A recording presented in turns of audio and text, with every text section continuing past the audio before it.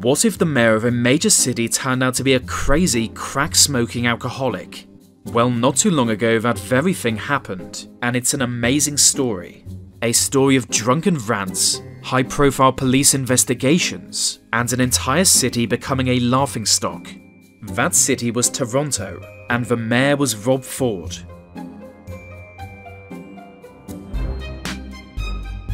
The behavior of Toronto's mayor is out of control. He's admitted to smoking crack, to being in drunken stupors, to having memory lapses. Now he's raving about murder.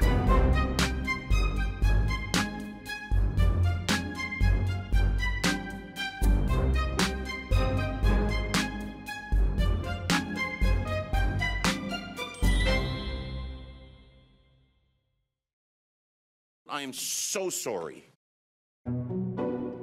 Like so many future drug users, Robert Ford was born in the 1960s. But unlike most, he was born to a prominent family. Seven years before his birth, Robert's father Doug Ford co founded Deco Labels and Tags, a company that still exists and today has an annual revenue of $100 million. Even in Canadian dollars, that's a lot of money, enough to buy significant political influence, as it would later turn out. The company specializes in creating labels, the type you see on consumer goods. That might sound boring, but I assure you it is indeed very dull. And maybe that's why so many members of the Ford family are drawn to politics. In comparison to plastic labels, literally anything seems exciting. When it comes to politics, the family patriarch again led the way. In 1995, Doug Ford was elected to the Provincial Parliament of Ontario, a position he would hold until his constituency was abolished in 1999. This was the peak of his own political career, but just one year later, his youngest son would take up the torch. Despite dreaming of becoming a professional American football player, Rob Ford took a sales job at a label company, and in the year 2000 was elected to the Toronto City Council. No one knew it at the time, but this was the beginning of a legendary career. His older brother Doug Jr. was heading a branch of the family business in Chicago, leading it to bring in $11 million in annual revenue. Then in 2002, their father retired, and Doug Jr. became president of Deco Labels. Meanwhile, Rob Ford was already causing controversy. When the city council opened a debate on whether to expand homeless shelters across Toronto, he was outraged Instead of a public debate on the issue, he suggested a public lynching. This was just one of the wild comments he regularly made, often attacking other councillors or members of the media, like when he called a fellow councillor a waste of skin. In many ways, he was like the original Trump. At one point, he tried to praise the Asian community for their work ethic, saying those Oriental people work like dogs. Those Oriental people work like dogs. They work their hearts out. They are workers non-stop. They sleep beside the machines. And outside of council meetings, he was just as entertaining. Sometimes he would get drunk at hockey games and shout at other fans until security removed him. So already he was the most entertaining politician in Canada, while still being a councillor. I think that's why he kept winning the election, although with each election his vote share would fall. His decline in popularity might be partly to do with a less funny incident in 2008. On the 26th of March, he was arrested for domestic assault and making death threats. It was believed his wife was the one who called police, but little detail of the incident is known. No one gave evidence against Ford, and the charges were later dropped. For many politicians, this kind of thing would ruin their career, whether guilty or not. So when Rob Ford announced his intent to run for mayor of Toronto, he was largely dismissed as having no chance. Most viewed him as a fringe candidate, but spoiler alert, he won. The other candidates were polished and professional. Among them were the then Deputy Mayor of the city and a former Deputy Premier of Ontario. These were serious candidates. Compared to them, he was a figure of fun, but he knew something they didn't. Voters at the time were sick of those polished political types, and the keys to office now lay in populism, at least for a brief moment. So he got to work presenting himself as a man of the people, calling out the corruption of normal politics. To counter this, his opponents would simply bring up one of his numerous scandals, but every time they did so, it seemed to backfire, gaining him more publicity and making people think he wasn't like all the other political figures. his popularity once jumped 10% when it came to light he had a DUI. This is another way his rise to power foreshadowed the Trump campaign six years later.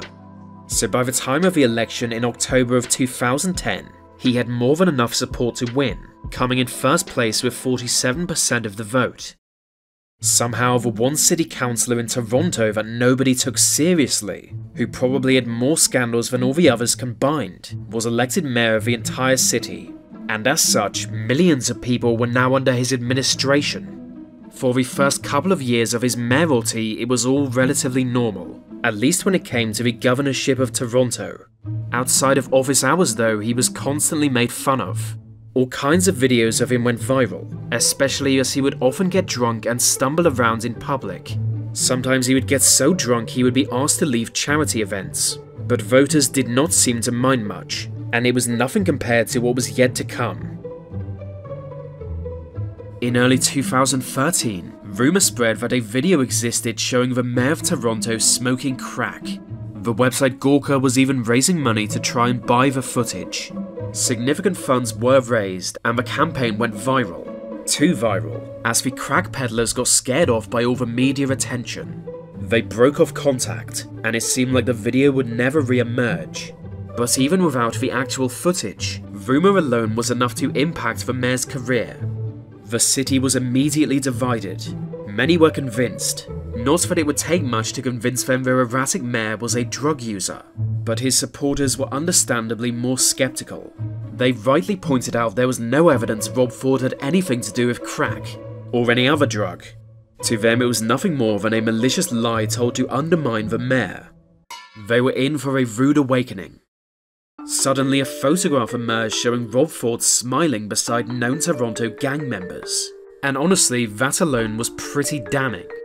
Even people inclined to support him were like, why is the mayor hanging around with dope boys? The image was everywhere, on all the news, American talk shows, and most of all on Twitter, thanks to the pure meme juice contained within it. It might not have been absolute proof, but at the very least it was really weird. And if you're wondering, this one is Rob Ford.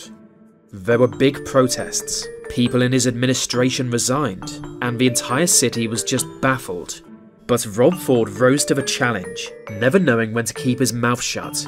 Calling an urgent press conference, he publicly denied using crack. I do not use crack cocaine, nor am I an addict of crack cocaine. As for a video, I cannot comment on a video that I have never seen or does not exist. It is most unfortunate, very unfortunate, that my colleagues and the great people of this city have been exposed to the fact that I have been judged by the media without any evidence. But there was evidence. He just didn't know it yet. First, Toronto police closed in on Sandro Lisi, a close friend and personal driver for Rob Ford. On October 1st, he was arrested on suspicion of trafficking cannabis. The charges would eventually be dropped, but for the already embattled mayor, well, it didn't exactly help. Perhaps he was still in the habit of denial from the ongoing scandal, because he denied knowing or even having met Lisi. It was a demonstrable lie, but a funny one, so who really cares? By the end of October, police had also retrieved the infamous videotape, having conducted a raid in gang territory. Knowing the walls were closing in on him, Ford panicked. He refused to speak to the media, sometimes literally running away from them. But his brother Doug Ford, who by now was on the Toronto City Council, demanded police release the footage. Apparently, he believed the footage would be ambiguous enough to muddy the waters. Unfortunately for him, the footage was explicit, clearly showing Ford smoking crack while a woman off camera rants about Justin Trudeau. And while it was not shown publicly until after his retirement, the people of Toronto knew the truth. Their mayor, who they elected, was a crack smoker. It was over, or at least it should have been. Like every great politician, Rob Ford refused to resign. He wasn't going to leave office without a fight, crack or no crack. It was the best thing ever. Everywhere he went, angry residents shouted at him to resign, to the point you actually start to feel bad for him. In desperation, he admitted smoking crack, but claims to have no memory of it as he was blackout drunk. He denied being addicted to drugs, stating it was a one time thing. It honestly felt like the whole world was against him. The city council demanded he resign, and people connected to him were constantly being arrested. It was bad, and as the pressure of the situation grew, Rob Ford became even less measured. And as he rushes around to confront the member of the public, he knocks over Councillor Pam McConnell. I guess he decided the public had already made up their mind about him, so it didn't matter what outlandish thing he said. Oh, and the last thing was um, Olivia Gondek that that says that I wanted to eat her pussy. Olivia Gondek. I've never said that in my life to her. I would never do that. I'm happily married. I've got more than enough to eat at home. Thank you very What about much. drinking and driving? What about drinking and driving? What about drinking and driving? Things were not going well, and the people of Toronto were not happy. Entertained, yes, but not happy. Unable to force him out of office, the city council cut the mayor's budget, hoping to put a leash on his recklessness.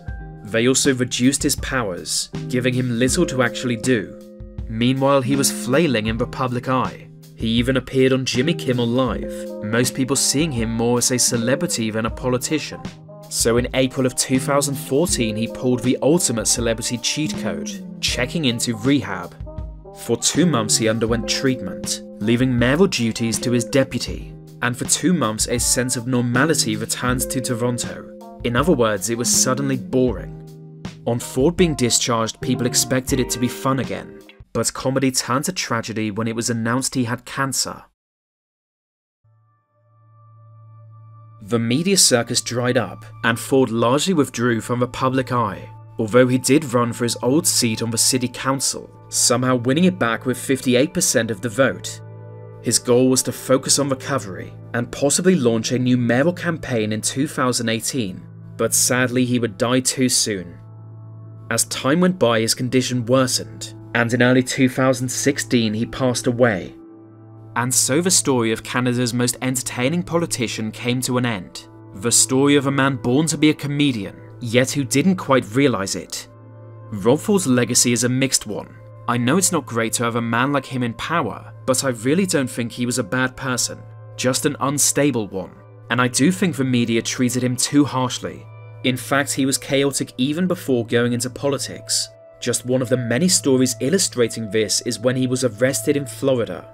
Pulled over while driving because his lights were off, he immediately threw his hands into the air and shouted, Go ahead, take me to jail. For some reason, he then took out all his money and threw it onto the ground. So that's where we get this wonderful mugshot from. At one point while mayor, he tried to deny the whole thing, but he was never going to get away with a lie like that.